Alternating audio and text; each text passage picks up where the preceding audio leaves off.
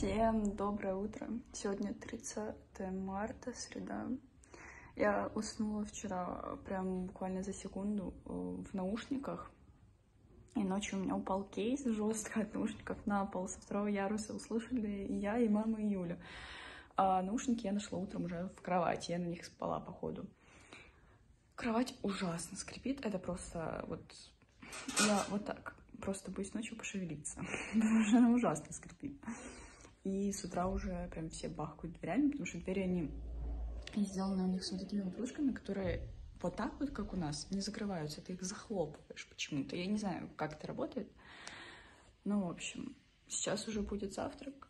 Он у нас с 7.30 до 10, и у нас не было горячей воды вчера, поэтому мама с Юлей пошли мою голову сейчас, и я, скорее всего, пойду на завтрак одна. Я просто не особо люблю туда ходить, одна, тем более. Мне неуютно, потому что столько взглядов со стороны, я же прям, не знаю, некомфортно себя чувствую. Плюс снимать мне неуютно, когда кто-то смотрит вот так на меня. Ну, в общем, хорошего дня, я буду снимать дальше.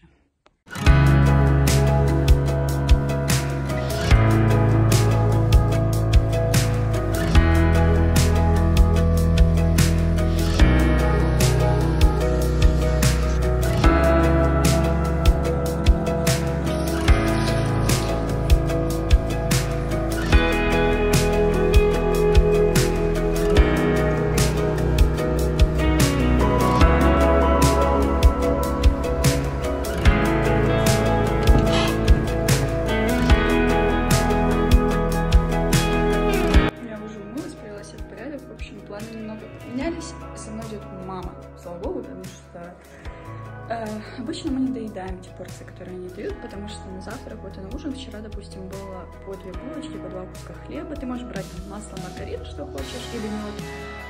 Э, из напитков кофе, чай, вода. И вечером был салат. Я не помню, в прошлом влоге Сегодня завтрак такой же, у нас две булочки, колбаска, две колбаски, там два сыра, и далее в этот раз банан, а не яблоко или грушу. И были вот такие вот джемики, вишня, абрикос и черная смородина. У нас на улице сегодня дождик, и с сегодняшнего дня будет похолодание. Уже там плюс 13, плюс 12, потом будет плюс 6, плюс 4 градуса. Мы идем Юле за кофе и уже обратно в нашу комнату. Мы только что после завтрака пошли с мамой на первый этаж в первый корпус, чтобы набрать Юле кипятка для кофе, что она с нами на завтрак не ходит, у нее работа. И попали в такую неприятную ситуацию. В общем, там стоит большой такой, как не термос, а именно как самовар, допустим, да, где всегда хранится кипяток. Там он рассчитан на 16 или на 20 литров. И уже собралась очередь, потому что воды не было. Она закончилась, и то есть э, те люди, которые там работают, они должны ее потом набрать. И женщина с мужчиной стояли, которые впереди. Они начали очень яро возмущаться и прям кричать то, что почему каждый раз тут нет воды, хотя вода есть чаще всего. Почему мы не можем набрать воды? Почему волонтеры не дают нам ответы на наши вопросы? Им девушка объясняет, они вас не понимают. Волонтеры общаются на английском, на немецком. Они в идеале знают два языка плюс-минус. Есть русские волонтеры, но их можно встретить гораздо реже. На русском и на украинском никто вас тут не понимает, типа. И ну, это не входит в их обязанность, чтобы вот конкретно вас успокоить или что-то еще. Другие люди стоят и говорят, ну, типа, хорошие условия, все хорошо, успокойтесь, сейчас будет вода. А они начинают возмущаться, что, мол, типа, как это так, почему нас, к нам так относятся. Говорю, вы приехали со страны, в которой идет война, вам предоставили жилье хорошее, жилье хорошее, вам предоставили трехразовое питание, воду, чай, все, что хотите, все бесплатно. Еще лежат там игрушки, детские вещи, которые можно брать бесплатно. И все равно вам этого недостаточно, и вы начинаете возмущаться, качать какие-то права, что вам кто-то что-то тут должен, хотя никто ничего тут не должен, на самом деле. Это очень обидно, потому что стоит вот такая толпа, которая друг на друга кричит, и волонтеры, которые рядом ходят, они не понимают, в чем, в чем дело, почему мы ругаемся, потому что они не понимают язык, ни русский, ни украинский. И они стоят рядом и слушают, и просто вот, вот реально они стоят в таком шоке, не понимают, что, что случилось такого, какая ситуация произошла, из-за которой нужно так кричать и собачиться. А потом одна девушка ему объяснила, что типа все хорошо, просто, ну, некоторые люди, которые тут ходят, у них слишком завышенная самооценка и самомнение, что им тут э, все не так, им должны были предоставить трехкомнатную квартиру и еще кучу всего, постоянно их обеспечивать всем, чтобы кипяток у каждого был, а на самом деле это неправильно, потому что нужно быть благодарным даже за те условия, которые вам предоставили, а они реально хорошие. Вот после этого мне обидно, что на самом деле к нам вот будут все равно относиться не так, потому что люди, которые тут живут, немцы, да, или иностранцы, они понимают, что есть часть украинцев, которые принимают и понимают, а есть часть, которая просто быдло, вот честно. Другого слова нет, и на самом деле из-за этого очень сильно обидно было. Но людей уже не исправить, а их исправить только вот тут можно. Они должны до этого дойти сами. Так что вот так. Я уже привела себя в порядок. Тут какой-то фильм, какой прикольный, что цвет волос Свекой цвет волос. В отражении зеркала.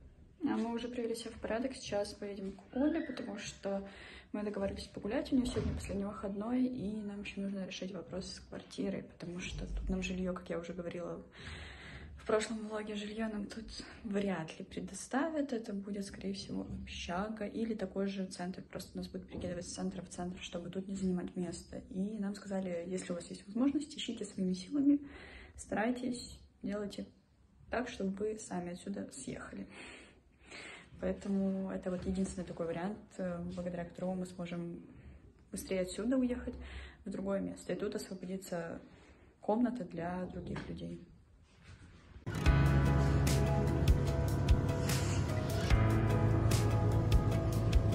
Думаешь, что-то берем вообще? Вот есть сыр, какой я брала. Мы можем взять там с таким боком.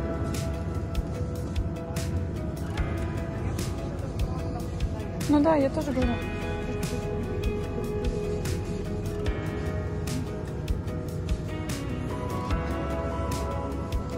Нам ничего больше не надо? Хорошо, мы сейчас что-то будем. Давай, давай, давай.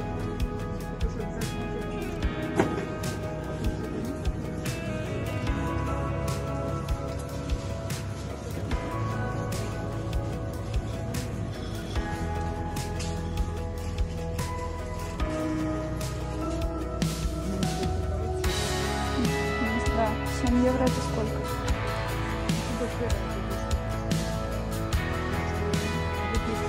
Вот такие есть, это в пакетиках.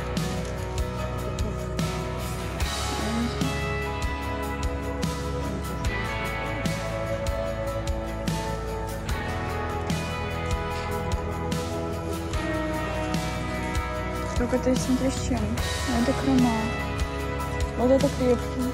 А, капсуль. Вот, вот эта капсула, вот это.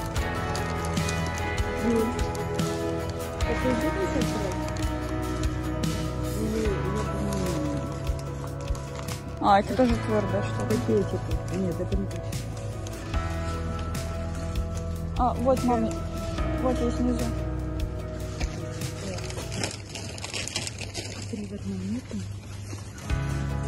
Нет, эспрессо и классический без сливки-то есть. Ну, 2 евро это, ну как, вот еще есть. 63. Ой, это 3 в одном. Классик. Классик 2 в одном. Давай классик 3 в одном возьмем у нас. 10 пакетиков. Там никого не чтобы я не толкнула.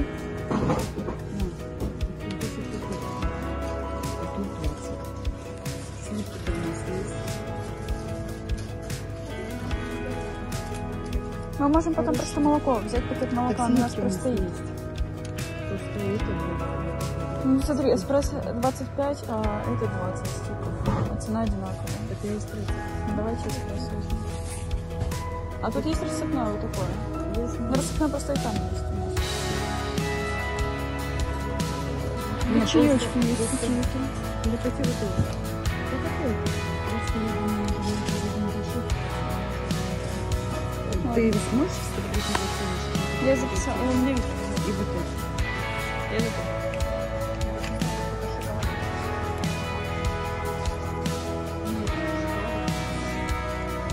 Ну вот это у нас есть. И вот такие. И вот такие.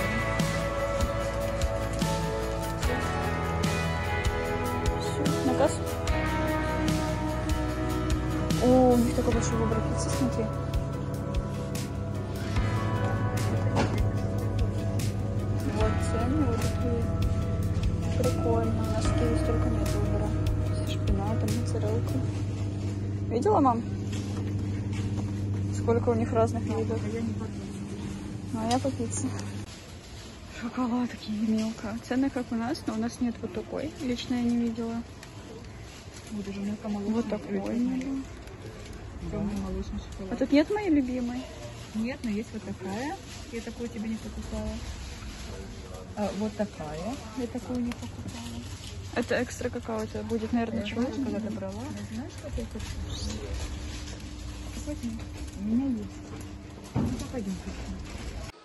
Все уехали гулять в город, я осталась у Оли, потому что скоро начинается учеба, меня через два дня мне нужно м, закончить желательно конспект, потому что потом начнется учеба, я не буду успевать делать это, плюс у меня курсы по немецкому, и как-то свободного времени у меня не останется. Я пытаюсь включить ноут уже третий раз. Я его включаю, он у меня просит пароль, все прогружается, я ввожу пароль, он очень долго грузится, грузится, грузится, я его выключаю. Второй раз делаю то же самое, тоже проходит очень много времени, та же самая фигня. И третий раз то же самое вот сейчас, наверное, будет. Я, честно, не знаю, как с ним бороться, потому что он реально был дорогостоящий, он хорошо работает, он хорошо тащит игры, все прям. Но вот этот момент, то, что почему-то он начал в последнее время очень мало работать без зарядки и очень сильно тупить. Я не знаю, с чем это связано. Скорее всего, я его чем-то забила или, может, что-то туда закинула, занесла. Но Миша сказал, переустановить винду надо, а чтобы переустановить, мне надо куда-то все файлы перекинуть, потому что у меня тут вся учеба с первого курса, все какие-то работы, которые мы сдавали, вдруг пригодятся, а, все какие-то фотки, мои видео, то, что я сюда скидывала. И вот, как бы вот, она пишет, подождите, да? А потом она запросит пароль, и нифига. Я не знаю, честно. Если повезет, это будет счастье.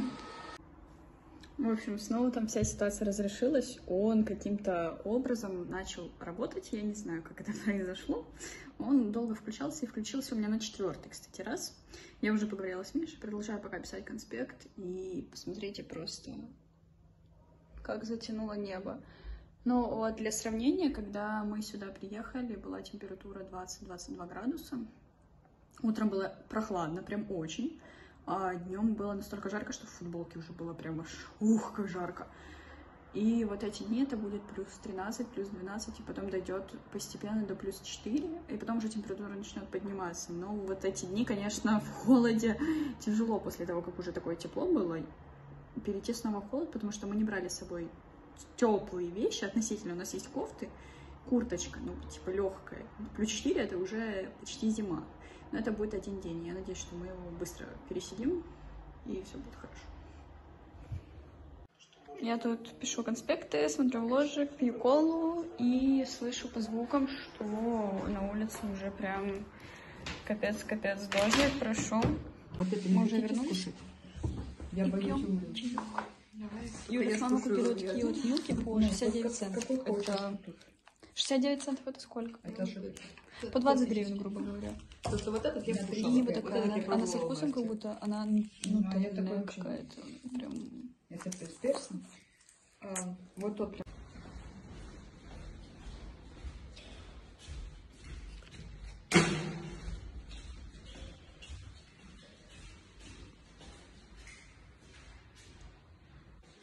Мы уже сходили в душ, будем ложиться спать. А, насчет квартиры пока ничего не известно. Будем в понедельник решать.